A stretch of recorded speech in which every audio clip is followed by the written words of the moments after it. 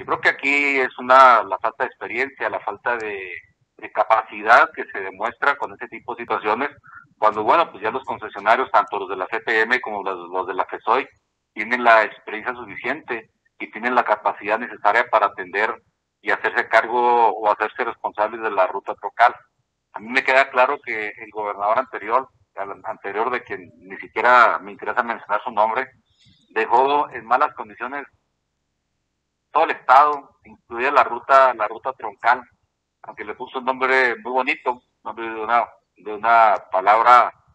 eh, rarámuri,